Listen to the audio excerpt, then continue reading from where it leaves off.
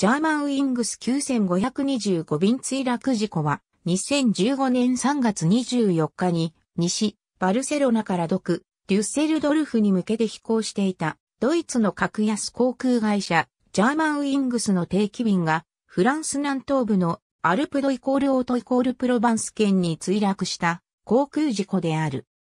ルフトハンザで運用中の事故機事故当該機は、エアバス A320 から211で、1991年にエアバス社からジャーマンウィングスの親会社であるルフトハンザドイツ航空へ心臓機として引き渡された後、2003年にジャーマンウィングスへ移籍。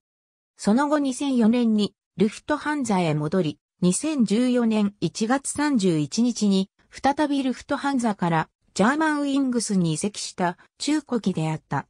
事故時点での木年は24.3年で、これまでの飛行時間は58,300時間である。重整備は2013年夏、最後の整備は事故前日の2015年3月23日に行われていた。当該機はこれまでに重大事故に遭遇した記録はない。エアバス A320 とその派生型は1987年の初飛行以来、シリーズ全体で6400機以上が生産されたエアバスのベストセラー機で、格安航空会社に限らず、各国のフラッグキャリアでも採用されている。9525便の飛行ルート9525便の飛行コードスイーズ事故現場となったマッセイフデトロは、リベシャスジャーマンウィングス9525便は、同社の定期運航便として、スペインのバルセロナエルプラット空港を、帝国から26分遅れとなる10時1分に出発、デュッセルドルフ空港に向けて飛行していた。バルセロナを離陸した後、地中海上空を高度3万8000フィートで飛行していたところ、午前10時30分頃にフランスのバール県上空において急に降下を開始し、10時53分に高度6000フィート付近で管制レーダーから機影が消失し、アルプドイコールオートイコールプロバンス県、プラドイコールオートイコールブレのアルプス山中に墜落した。墜落した現場はフランス南東部のニースから北西およそ 100km にあるアルプス山脈の標高2000メートル付近でディーニュレバンとバルスロネットの中間付近である。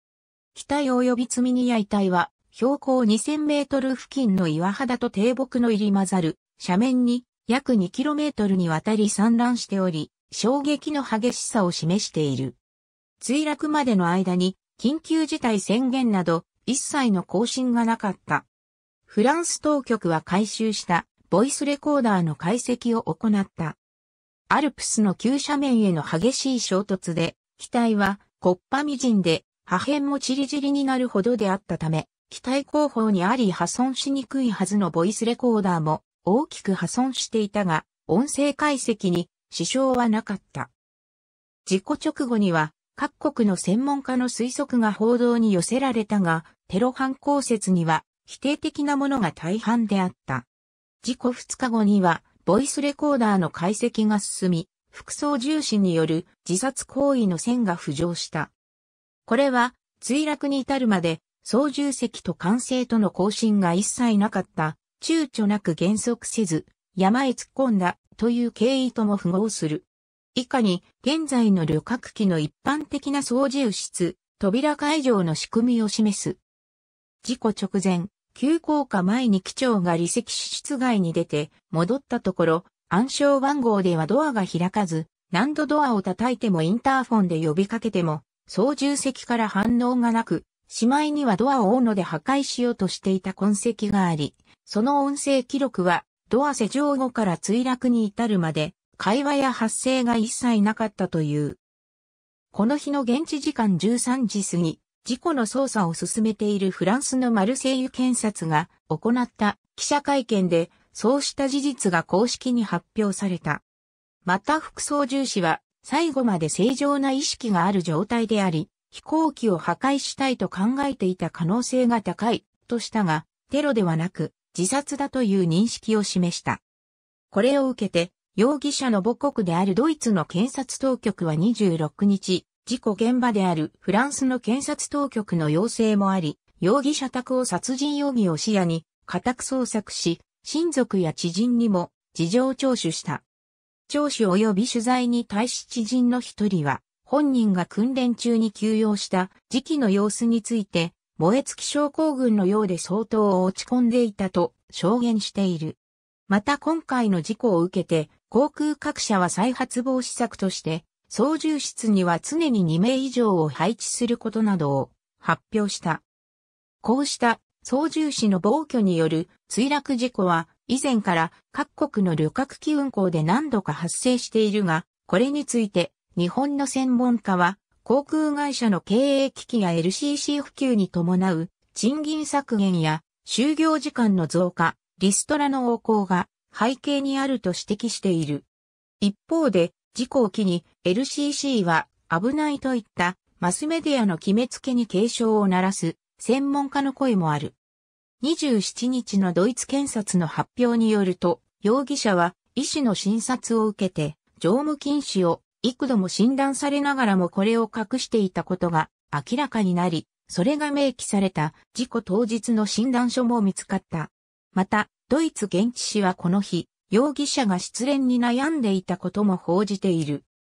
この現地紙が28日に掲載した恋人へのインタビューでは、発給の割に仕事へのプレッシャーが多いことへの不満を漏らし、精神科の診察を受けていることを告白され、実際に精神不安定な面があったと言い、そのために機長への夢を絶たれたと悲観したのではないかと告白している。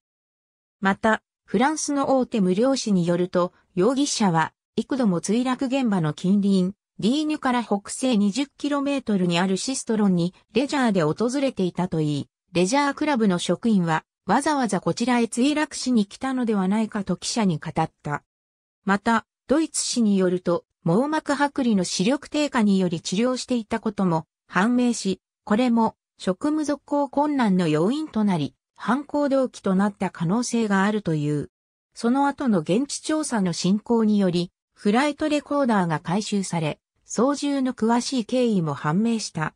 副操縦士は、機体が降下姿勢に移った後も、幾度も加速を繰り返しており、激突後に山の斜面に遺体や瓦礫が深く食い込んで、細かく砕け散っていた理由を裏付けている。また、機長がトイレに行くよう仕向けるために飲み物に薬物を混入した可能性が捜査によって浮上している。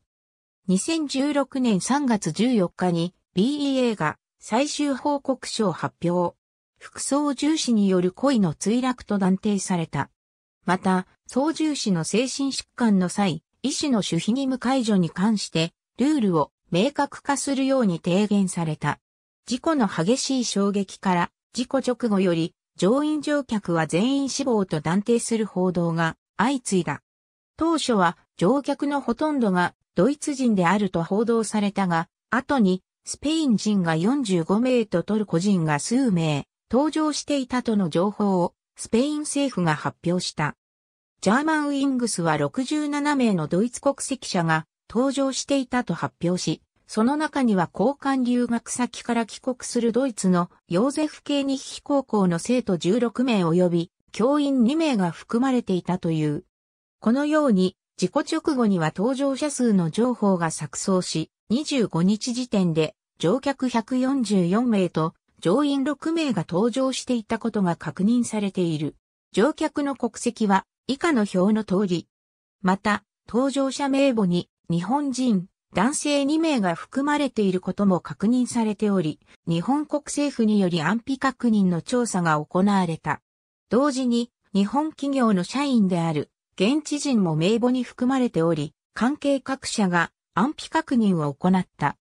ジャーマンウィングスの公式発表によれば、9525便は、同社とルフトハンザで10年の経験を持つ機長が操縦していたというが、前日の通り墜落を仕組んだ操縦者は、副操縦士であった。墜落事故を受けて、ケルンのジャーマンウィングス本社では車機を半旗にした。未遂、断定不能、また犯人が操縦士ではないが、自殺目的で機体を破壊した事例も含む。ありがとうございます。